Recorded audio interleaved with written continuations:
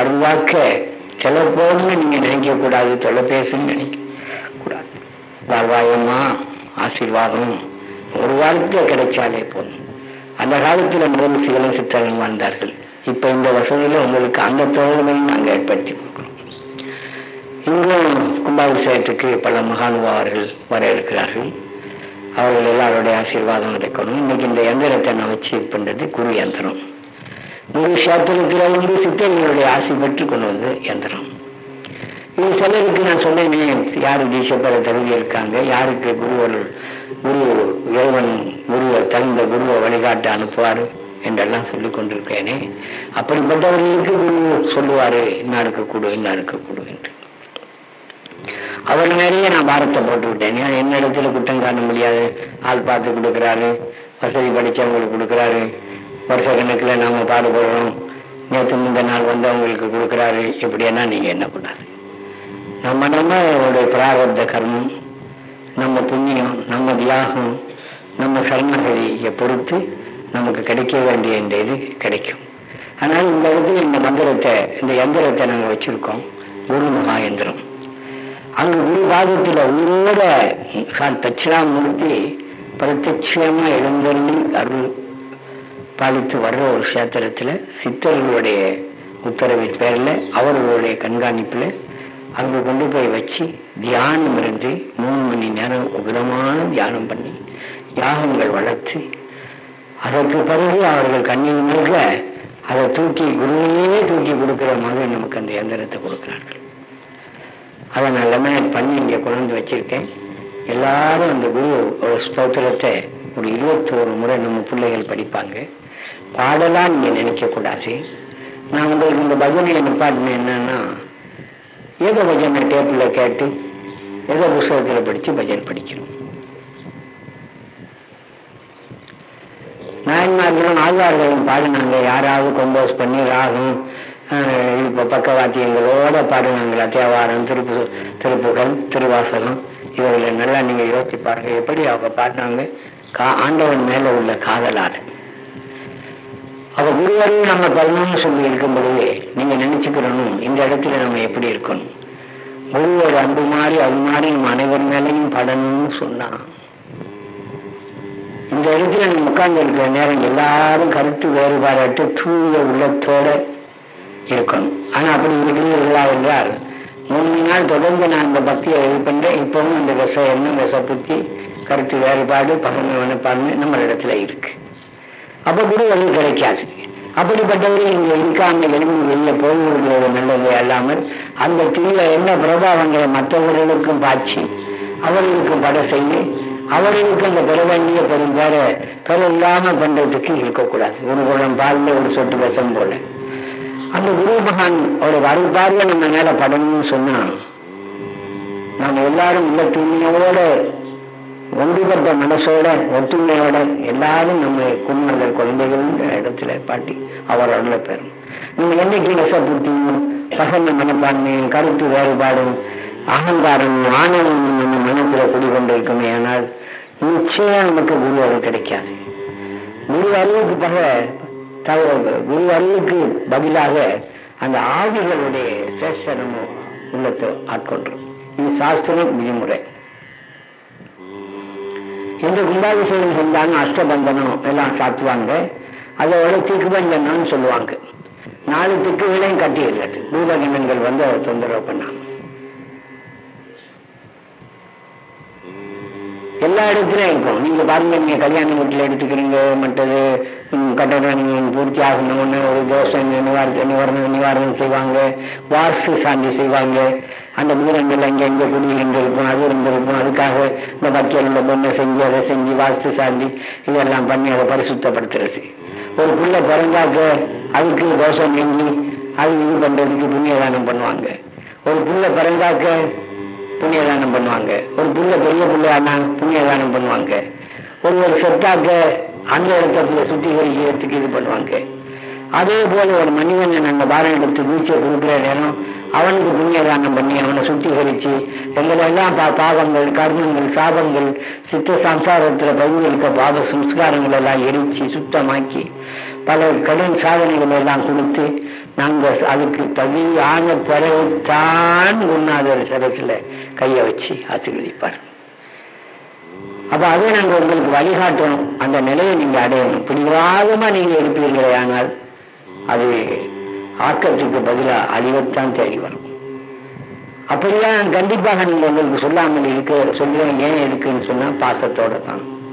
நீங்கள் எல்லாரும் அந்த இன்பத்தை நிலையாக சமமாக பெறணும். ஒருவருக்கு குறையா ஒருவருக்கு ஒருவேளை இருக்கக்கூடாது.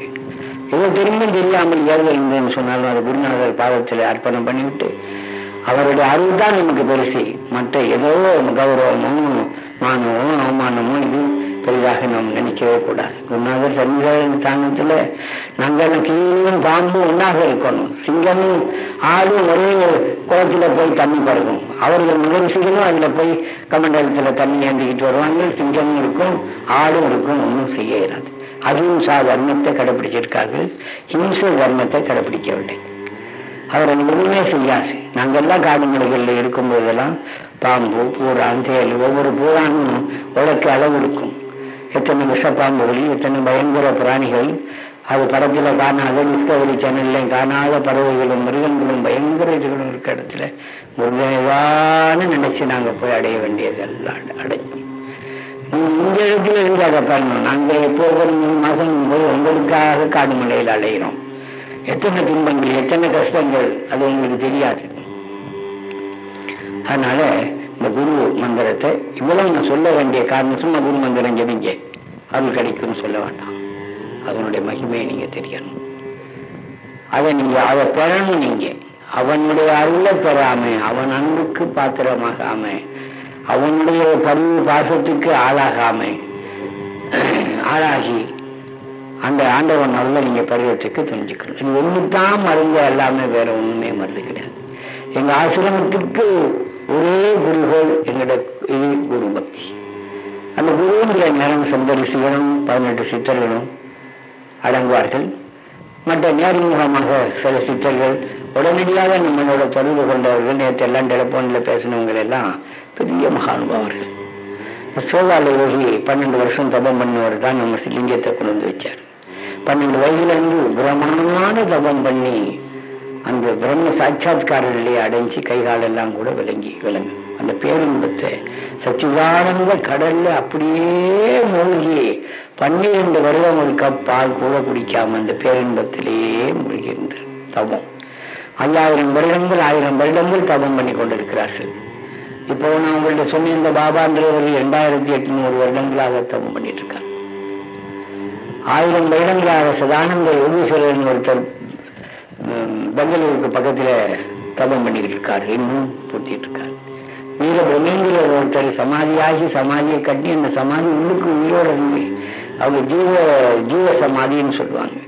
நாம் போய் உட்கார்ந்து தியானம் பண்ணின உடனே உள்ள வந்து அருள்வாக்கு நமக்கு வரும். சமாதி உள்ளுக்கு. எத்தனை எத்தனை இதுல எல்லாம் இருக்கு. குருமகான்கள். அவங்க வழிகாட்டல்ல நம்ம இருக்கிறோம். அவங்க அருள் பார்வையில நம்ம இருக்கிறோம். அவங்களுடைய உபதேச நெறி நின்று நம்ம வாழ்றதுக்கு நமக்கு வழிகாட்டிட்டு வர்றாங்க. இவ்வளவு நம்ம மக்கள் வசதிக்காக இந்த மண்டபம் காணாமல் இருந்தது. உடனே பார்த்தோம் ஜனங்களுக்கு வசதி இல்லை. ஒரு யாகத்தில் எல்லா ஜனங்களும் வெளியே நின்னாங்க. நல்ல பரவாயில்லை மழையா இருந்தா என்ன செய்யறது உடனே குருதேவான்னு நினைச்சோம். ஒரே கிழமையில இதை பூர்த்தியாகி இது பண்ணிட்டோம். யாருக்காக? எந்த அளவு அந்த குருநாதர் உங்க மேல அன்பு வச்சிருக்காரு ஆசை வச்சிருக்காரு பாசம் வச்சிருக்காருங்கிற அதுக்கு கொஞ்சம் நடுகளவாவது நீங்க மரியாதை கொடுத்து ஆகணும் சந்தேகமே கிடையாது. என்ன வாழ்க்கை? மண்ணாக இந்த உடலை வாழ வளர்த்து மண்ணுக்கே இயந்திரமே அல்லாமல் என்ன இது பண்ணிட்டோம்? ஒண்ணும் கிடையாது. நம்ம இது நிலையானதுன்னு நினைக்கிறோம். எந்த இடத்துலயும் பொட்டுன்னு போயிடுவோம். எந்த நேரம் எந்த நேரம் நம்ம அழைப்பு வரலோ அந்த இடத்துல போக தயாரா இருக்கும். நம்ம பணம் குழந்தைகள் மனைவி மக்கள் நம்ம அழகு அனைத்தும் போய் விடுகிறதே. அது இப்படிப்பட்ட நிலையற்ற இந்த மண்ணுலக வாழ்க்கையில நாம் வாழ் வாழ்ந்துகிட்டு இருக்கோம். எந்த நேரம் எந்த அழிவுக்கு எந்த ஆபத்துக்கு ஆளாக போறோமோ எந்த நேரம் நமக்கு மரண தேவன் இருந்து நம்மளை அழைக்கிட்டு விட்டு போக போறானோ இப்படி எல்லாம் துடி துடிக்க எத்தனை பேர் போறாங்க? பார்த்துக்கிட்டு இருக்கீங்களா?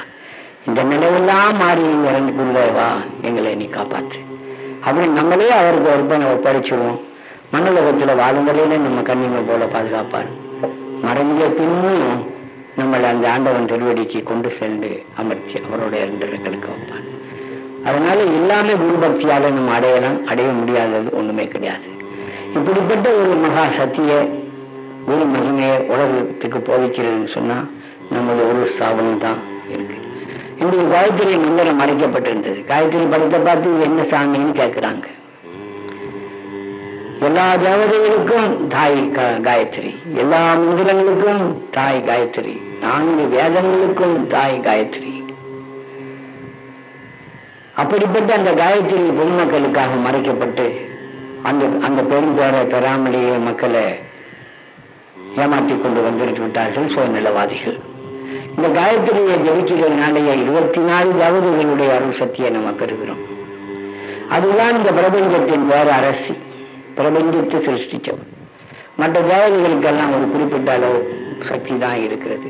ஒரு குறிப்பிட்ட ஒரு நன்மையை தான் அந்த தேவதைகள் இடத்திலிருந்து பெறலாம். லக்ஷ்மியை வழிபட்டால் ஐஸ்வர்யம் சரஸ்வதியை வழிபட்டா கல்வி துர்க்கையை வழிபட்டா பாதுகாப்பு இப்படி காயத்ரியை வழிபட்டால் எல்லாமே கிடைக்கும். இந்த காயத்ரியினுடைய அருளை பெற்று தருவது யாரு என்றால் அதை விட மேலான ஒரு சக்தி குரு சக்தி. அதனால எல்லா பக்தர்களும் இப்போ ஒரு மந்திரம் ஜபிக்க போறோம். அது சக்தி நிறைந்த மந்திரம். ராகத்தோட இல்லை. காதுக்கு பஜனை இல்லை. அந்த குருமகா எந்திரத்தை நம்ம இங்க வச்சிருக்கோம். கடைசியில நீங்க எல்லாரும் அதை தொட்டு வணங்க போகிறீர்கள். அதுக்குள்ள ஜீவ காந்த அலைகள் அடக்க வச்சு கொண்டிருக்கிறது. அருள்காந்த சக்தி அதில் ஏற்றப்பட்டிருக்கிறது. அதுக்கு குருவினுடைய பிராண காந்த சக்தி அலைகள்ல பாய்ச்சப்பட்டிருக்கிறது. பிராண பிரேஷ்டையும் செய்யப்பட்டது என்று சொல்லலாம். அதை நீங்க தொட்டு கை அந்த சரசுல வச்சு விட்டாலே முக்தி கிடைக்கும்னு சொல்லுவாங்க. இதெல்லாம் உங்களுக்கு நாங்கள் சிறமையை தாங்கி கொண்டுட்டு வரோம்னு சொன்னா நீங்க எப்படி உங்கள்ட்ட ஒரு ஒரு குருவுக்காக தன்னுடைய கொள்கையை விட்டு கொடுக்கிறார்கள் இல்லை? கோபம் அகங்காரம் ஆணவம் இதெல்லாம் ஒரு கூடையில போட்டு அவரிடத்துல நீங்க ஒப்படைச்சிடணும்.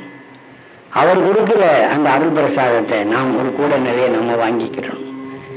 இது மேலும் மேலும் நம்ம பாவத்தை சம்பாதிக்கிறதுக்கு கூடாது. ஒரு முன்னுக்கு நம்ம எல்லாமே பரந்துடணும் ஒரு சூரியன் நிலத்துல போய் நின்று இருள் சூரிய பகவானே என்னுடைய இருளை அகற்றுவாய் என்று கேட்ட மாதிரி இருக்கு.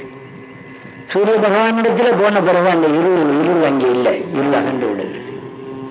அதுபோல குருவனுடைய முன்ன எழுந்து எழுந்தருளி மூன்று குருவின் முன்னுக்கு எழுந்து நின்று வழிபடுற நேரம் அவனுடைய பாதங்களும் தோஷங்களும் கருமங்களும் கோபங்கள் காம குரோத லோப மோக அகங்காரமான அந்த பஞ்ச விகாரங்களும் எரிஞ்சு சாம்பலாகணும் அந்த குரு பக்தியோட ஈர்ப்பு தன்மையோடு அவன் முன்னுக்கு இருந்தான்.